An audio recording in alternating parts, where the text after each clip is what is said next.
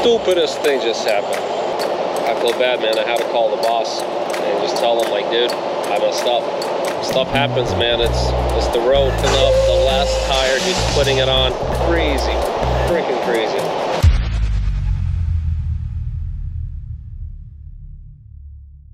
So we just got loaded, and we're actually pretty heavy. We're like 43,000 pounds and something. But this is a dry load. It's not a reefer load, but they wanted it in a reefer. This company was pretty crazy where we had to get loaded.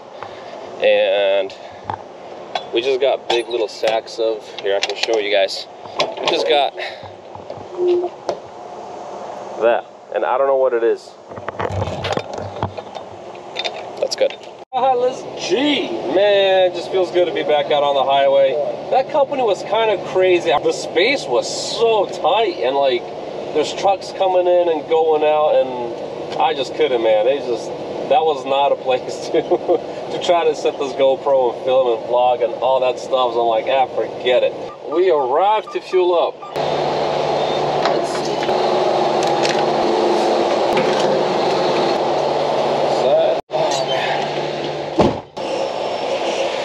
First weigh? Yeah, it's the first weigh. Yeah, you're the one I was going to relay, right? Yeah, All right, I got you, my friend. Uh, ticket number 50 at the fuel desk. five zero. All right, sounds good. Thank you. Whoo! Look at that. You can't get more perfect than that. I don't know if you guys can tell these numbers right here. 11,760 on the steer, 33,100 on the drive, and 33,080 on the trailers. That's perfect. Like, like, it, it doesn't get much better than this. Man, talk about being professional. Just on a single weigh. Heck yeah.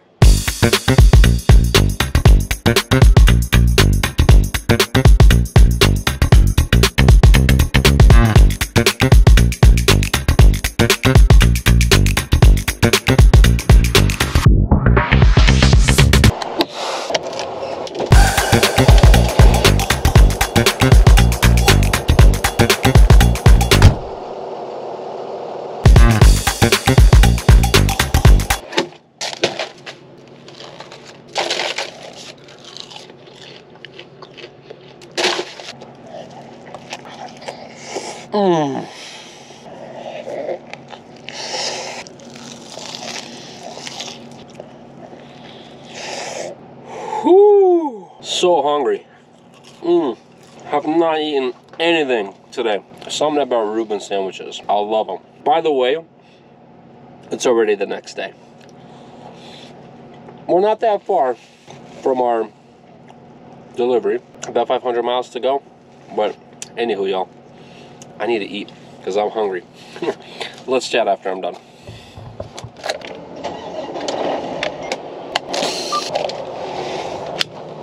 I stopped at a Walmart earlier and picked myself like a whole bunch of fruit. That's what I got myself because getting fruit at truck stops is crazy, crazy expensive.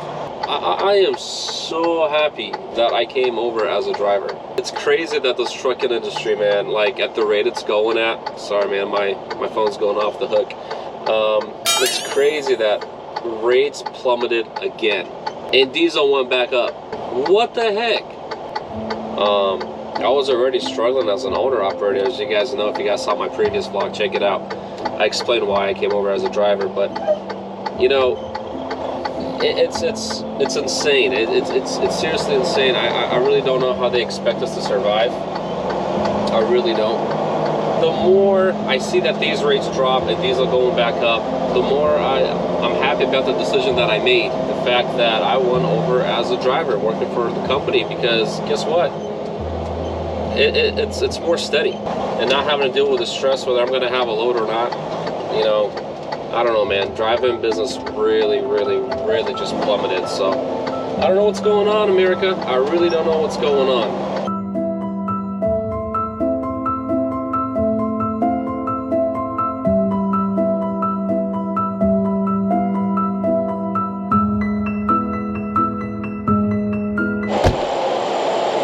Stupidest thing just happened.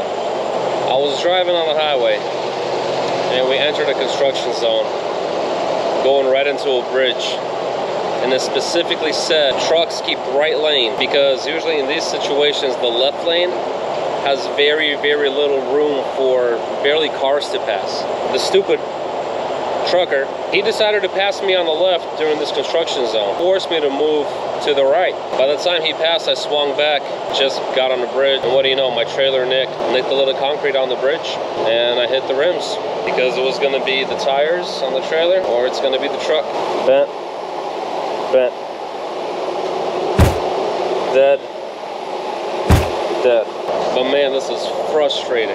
I can expect this from regular car drivers. Somebody driving a regular car does this because they just don't know what it means to be in a semi. But when another semi truck does this, another person driving an 18 wheeler, you gotta be kidding me, man. Stay on the damn freaking right lane. I mean, you can't drive like this, there's no way. That's the situation. That's the dilemma. I feel bad, man. I had to call the boss and just tell him, like, dude, I messed up I felt bad because I mean I'm the one driving this thing, you know.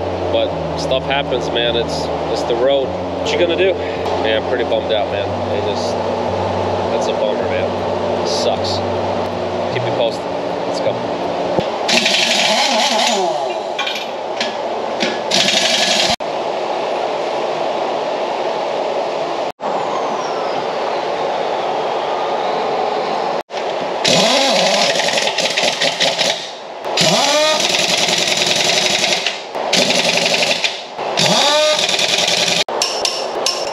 Man right there. He's finishing up the last tire. He's putting it on. Crazy. Just crazy. Freaking crazy. It's already dark out. I mean, look at that. I mean, the sun is setting over there, like, really nice. It's actually beautiful. Uh, right now, I just want to finish up whatever hours I have left so we can make our delivery tomorrow. So, but you know what, guys? I'll catch you in the morning. All right. Peace. Good night.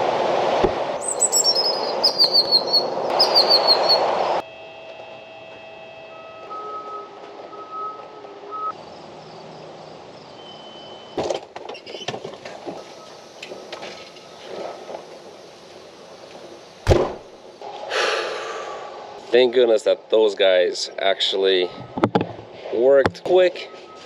But hey, we're getting unloaded. I'm not fired. I can't believe I'm not fired. Dude, that's crazy.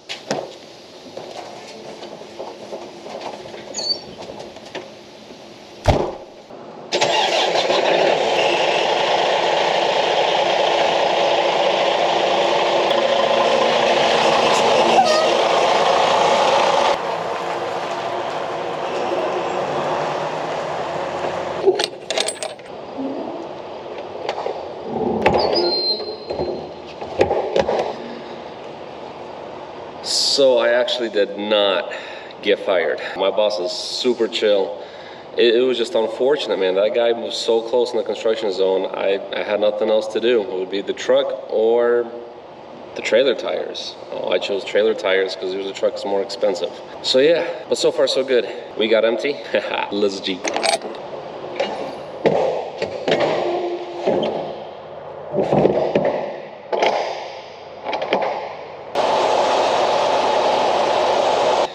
I offered to pay because that's how bad I felt. He's like, don't worry about it. He's like, it happens. And um, man, just a blessing. But anyways, guys, that's it for this trip. Hope y'all enjoyed it. We delivered. Everything is good. Don't forget to hit that subscribe button if you guys like this content, if you guys want more. Thanks for your love. Comment down below. Like the video. All that good stuff. Let's G.